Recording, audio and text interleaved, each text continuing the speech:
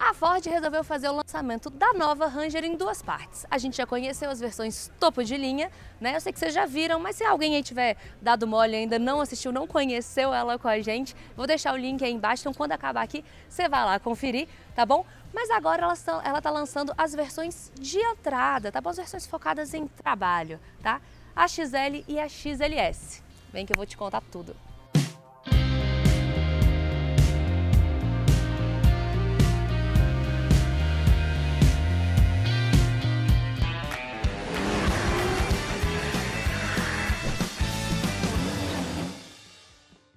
Vamos começar falando de mecânica, preço, que eu sei que é o que vocês querem saber, tá bom? E aí depois eu vou contando a diferença de equipamentos de cada uma. Antes da gente começar, já deixa aquele like, né? Compartilha com todo mundo que vocês sabem que vai gostar, que pode querer comprar esse carro, que quer saber mais sobre essas picapes. Se não for inscrito, se inscreve, seja muito bem-vindo ao canal e ativa o sininho de notificação para não perder nenhum conteúdo. Vamos lá, vamos começar pela XL, que é a versão de entrada, né? A versão focada para trabalho, para frotistas. Vocês veem que a frente dela já é diferente, você tem um para-choque de plástico, pensando em custo, né? Se estragar, essas coisas. E ela é equipada com o motor turbo diesel 2.0, tá? De 170 cavalos, 41,2 kg de torque. E a transmissão é a manual de seis marchas e ela vem por 240 mil reais, 239,990. E aí quando a gente fala de XLS, que é a que está aqui do lado, que as coisas começam a ficar um pouquinho mais interessantes, que aí a gente tem mais detalhes, mais diferenças. Para começar, a mecânica é exatamente igual daquela dali, então turbo diesel 2.0, mas aí a gente tem a XLS 4x2 e a XLS 4x4. Mas aqui a gente já tem o câmbio automático de 6 velocidades. A 4x2, 235 mil reais e a 4x4, 260 mil. Mas aí a gente tem uma novidade. Vai, já tinha saído esse boato aí há um tempinho, mas aqui eles apresentaram como uma novidade que é uma outra versão da XLS. Olha só. Que é a XLS com motorzão V6 que a gente já tinha conhecido nas versões topo de linha. Então é o turbo diesel 3.0 de 250 cavalos, 61 kg de torque, transmissão automática de 10 marchas, tá? Então para quem quer o desempenho, né? Mas que não tinha aí uma grana, não dava para desembolsar os 340, 320 mil da versão limited ou até os 290 da XLT e aí quer esse desempenho, mas vai ter um pouco menos de requinte, um pouco menos de equipamento e pode pagar os 280 mil que estão cobrando por ela. Agora eu vou te contar as diferenças de cada versão e depois a gente vai para a pista e para off-road. Então fica aí.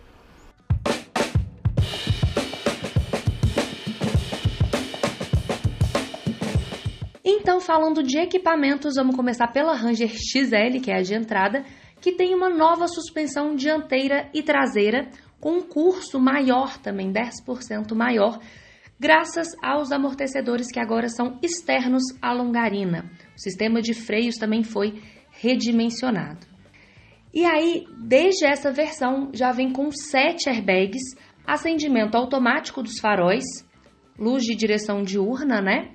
O assistente de partida em rampas, que todos os carros hoje têm, controle automático de descidas, o piloto automático com o limitador, que não é o ACC, tá, gente? O ACC é o controle de cruzeiro adaptativo. Esse aqui é aquele limitador de velocidade que mantém a velocidade.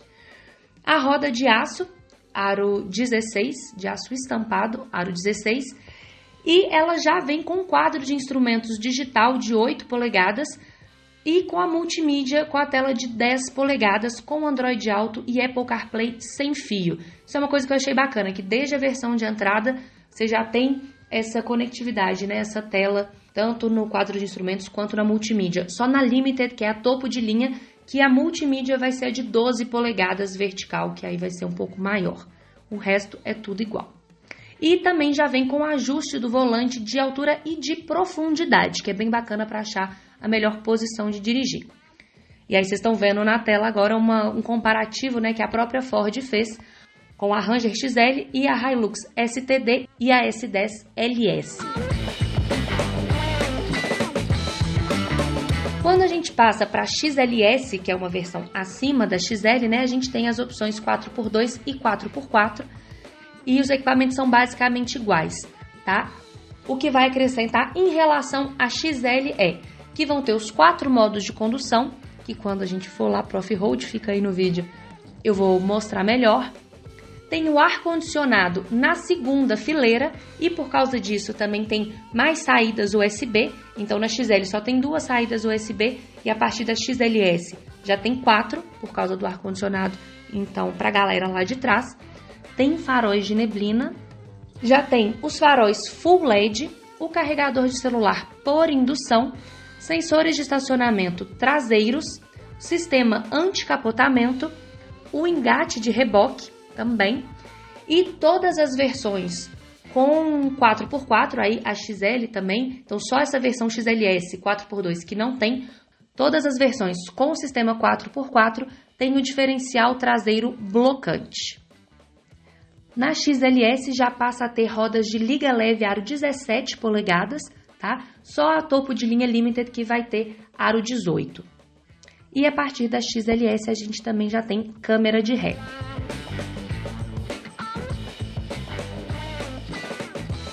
E quando a gente fala da XLS com motor V6, a grande estrela dessa versão é de fato a motorização, né? Motor e transmissão visando desempenho. De equipamento mudam poucas coisas, como tem o sistema start-stop, o freio de mão eletromecânico, freios a disco nas quatro rodas e a tração também muda passa a ter a tração 4WD, a 4-wheel drive, né, com o seletor, que você tem a 4x2, 4x4 high, 4x4 low, né, reduzida, e o 4x4 automático, onde o sistema automaticamente decide quando é melhor e como é melhor usar a tração.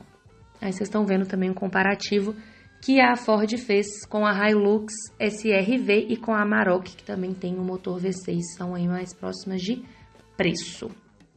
Vocês podem conferir a lista completa de equipamentos de todas as versões e ficha técnica no link que está na descrição aí do vídeo, aí embaixo. E agora algumas considerações também que eu achei uma mancada. Só ter, por exemplo, o protetor de caçamba na versão topo de linha, eu acho que é um item que deveria ter desde a versão de entrada. E em segurança eu também acho que pecou um pouco. Eu acho que desde a versão entrada deveria ter um, um sistema de monitoramento da pressão dos pneus que só tem na versão topo de linha. Um sensor de chuva deveria ter pelo menos a partir da XLS, não tem, só tem nas duas versões topo de linha. E em segurança, eu acho que desde a XLS, pelo menos, deveria ter um alerta de colisão frontal e um sensor de ponto cego, que mesmo na limite do sensor de ponto cego só tem dentro de um pacote opcional, né? Mas eu acho que são coisas que pelo preço da picape, pela tecnologia, né, que a Ford está oferecendo aí, tudo que estão querendo mostrar que a picape tem, eu acho que são itens que poderiam ter ali, pelo menos a partir da XLS. Achei mancada não ter. E uma coisa muito importante falando de picape é volume da caçamba e capacidade de carga. A gente até já viu isso no vídeo do lançamento das versões topo de linha, mas vamos lá. Volume da caçamba 1250 litros e a capacidade de carga ela muda de acordo com a versão, porque equipamentos, enfim, tem algumas coisas que, que mudam o peso da picape e isso influencia diretamente no peso que ela pode carregar. Mas vocês estão vendo o quadrinho aí com o peso de todas as cargas. A XL, claro, é que carrega um pouco mais de carga dentre todas as versões, com 1.071 quilos.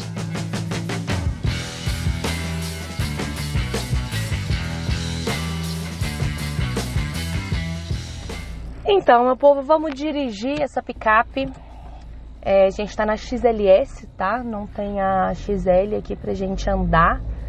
E tô com o motor 2.0, turbo diesel, 170 cavalos, tá? 41,2 kg por metro de torque. Então vamos para a pista de asfalto. A gente já tinha conhecido a Limited, né? Que tem o motor V6. E aí eles estão lançando agora as versões de entrada. E há uma grande novidade também que as versões de entrada, a XLS também ganhou uma versão com o motor V6. Como a gente já andou no V6, então já eu deixei para andar no 2.0 mesmo. Ah, já passar nas pistas especiais. Qual que a gente vai passar? Pula um bocado. Mas faz parte, né? Um carro feito para carregar mais de uma tonelada.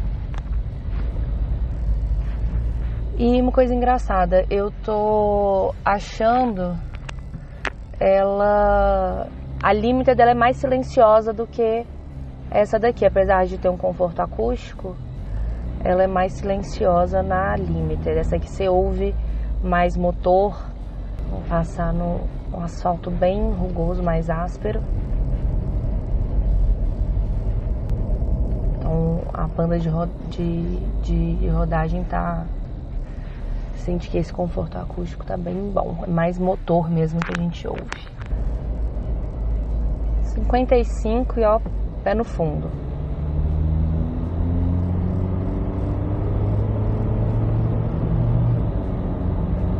Chegamos a 100. Não é desempenho, gente. Essa picape entrega, obviamente, né? Sabe disso. Quem quiser mais desempenho, tem a versão V6 que eu comentei, que aí vai ser mais focada nisso, né?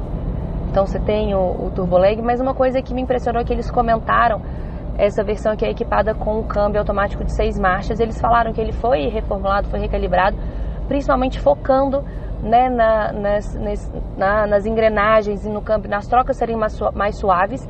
E realmente as trocas são quase imperceptíveis. Muito suave. Ó, tanto na redução quanto principalmente na, na, quando vai aumentar a marcha, você quase não percebe. Isso é muito legal. Isso traz muito conforto, né? Vamos acelerar de novo, estamos a 100. Mas é legal que mesmo acelerando você, eu falei que você ouve o barulho do motor, mas você não tem uma não te incomoda o barulho acelerando, sabe? Não te dá, não te dá aquele incômodo.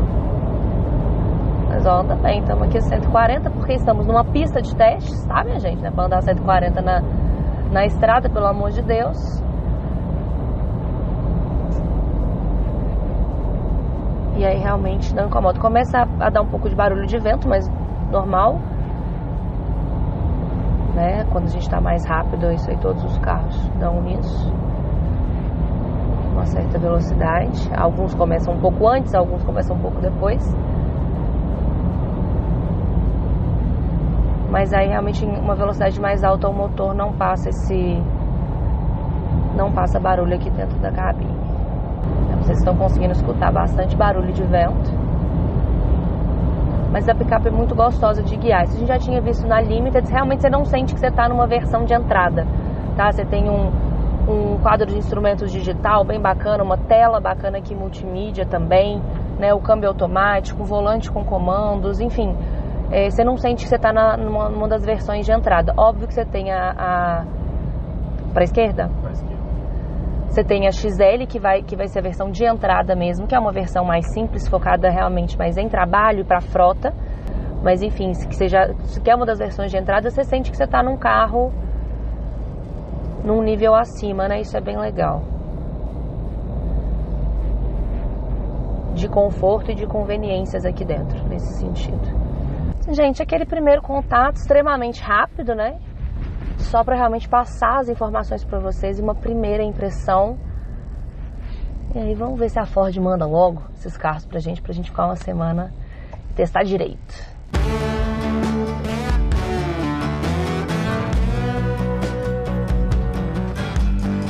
Bom, meu povo, estamos indo para minha parte preferida, que é o off-road, para me dar uma animada aqui. E estamos na XLS com motor 2.0, na versão 4x4, entrando aqui na pista off-road da Ford. Vamos ver se hoje essa pista off-road tá legal, que já teve vezes que na, no lançamento da F-150 foi uma pista off-road muito sem graça. Eu gosto quando a pista tá legal. Falaram que choveu, que a pista tá top. Vamos ver. Vamos pra areia agora? E aqui você vai poder fazer a escolha de modos de condução. Ah, essa versão já tem os modos de condução, Isso. né? A diferença é que você vai olhar no seu cluster ali, em vez de olhar na tela, né? Igual uhum. na Limited. Você Temos o normal, o eco, rebocar e o escorregadio. A gente vai deixar no escorregadio? Pode ser.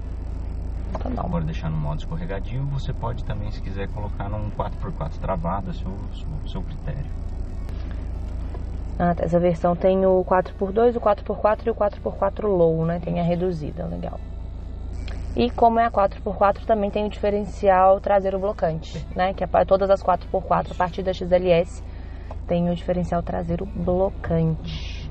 Então a gente está saindo de modo escorregadio 4x2. Aí lá no meio a gente para e muda.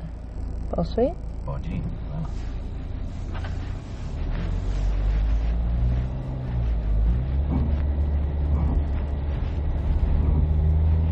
É o controle entrando. Legal.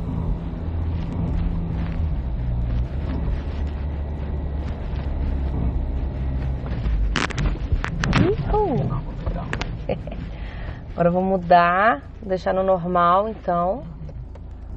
No normal e colocar o 4x4. De 4x2 ele vai também? Boa pergunta, mas 4x4 ele tá indo com certeza.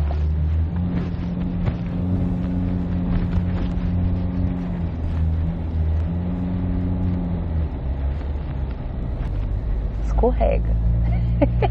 Mas ele vai te trazendo. Né? Eu tá amo. Divertido. Eu amo 4x4. Amo. É gostoso, né? Isso aqui é areia. Vamos parar pra ver se sai. Eu adoro atolar carro, tá em lançamento. Vou te avisar isso aí. Eu gosto é assim. Será que de 4x2 sai? Vamos deixar de 4x4.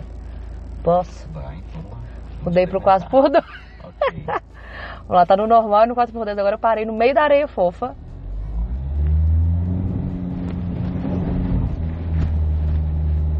Tranquilamente.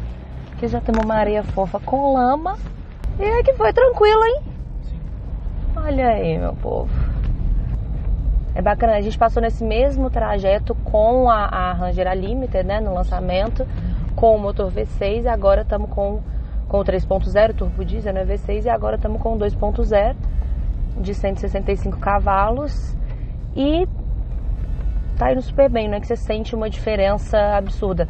Você vai sentir mais essa diferença se for num asfalto e quiser um desempenho, né? Que aí obviamente vai ser vai, o, o V6 vai te entregar mais. Mas aqui, para quem for fazer um off-road com a Ranger, eu tô curtindo, hein? Vamos ver, mais pra frente é mais legal esse trajeto. Vamos ver lá na Vai frente. ficando mais emocionante. Vai.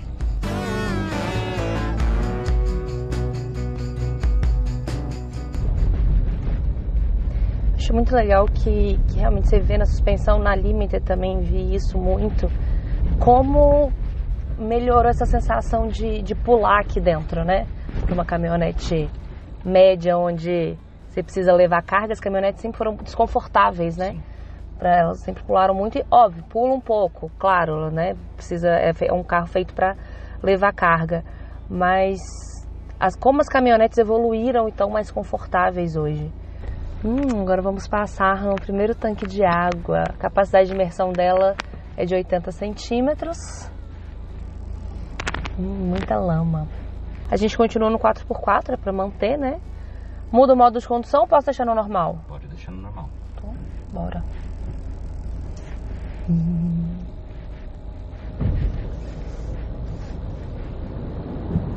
Ih, está fundo mesmo. Adoro essa parte. Ihu! Legal.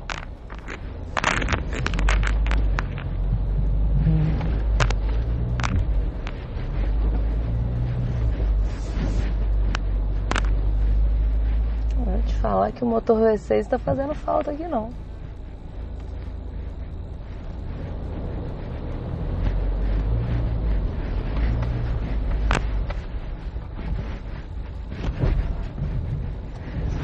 Importante que a gente está falando também, tem vários protetores embaixo, né? Já que a gente está aqui no meio da trilha da off-road, temos vários protetores.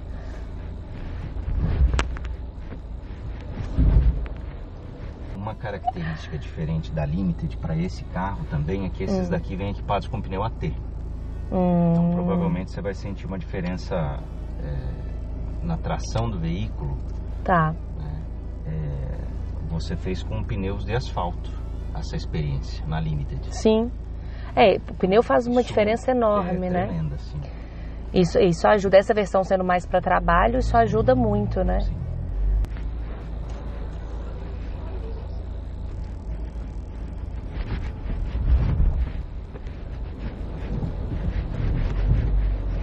Essas subidas e descidas, né, que tem um, um ângulo mais pesado, que você vê, é aí que você vê como o ângulo de ataque melhorou né? Que veem, a gente tá não tá raspando a frente, tá dando esse esse impacto, mas não chega a raspar a frente.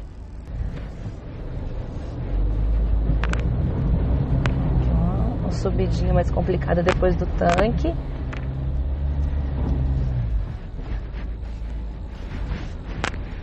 Ai, eu amo isso aqui, gente. uma coisa interessante, as pessoas veem às vezes uma situação complicada, elas querem pôr o pé no acelerador e sair de uma vez. E o off-road não é sobre isso, né? Você tem que, com calma, você tem que deixar os controles trabalharem. É, é ir devagarinho ali no pedal e vai tranquilo. Tão devagar quanto possível, tão rápido quanto necessário. Perfeita essa frase, perfeita. A base do off-road é essa. E eu queria dar uma acelerada assim, dar um. Estacionada. pra gente ver, né? Pra gente testar direitinho.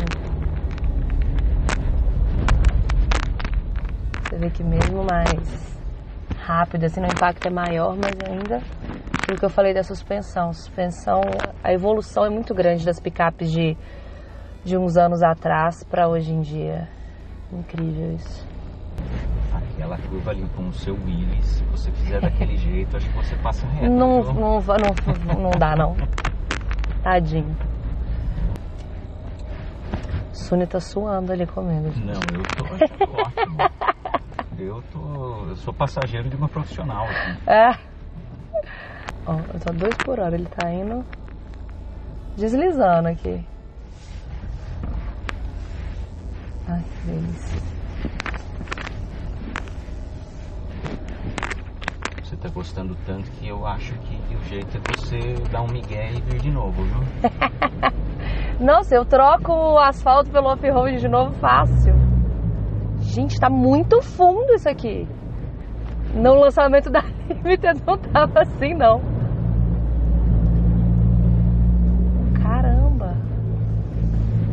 Uma coisa importante em alagamentos, viu, gente? Devagar e sempre.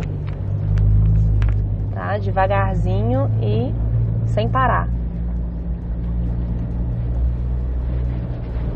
Que delícia. Adorei. Um belo tanque de água e de lama. Muito bom. Valeu, São Pedro.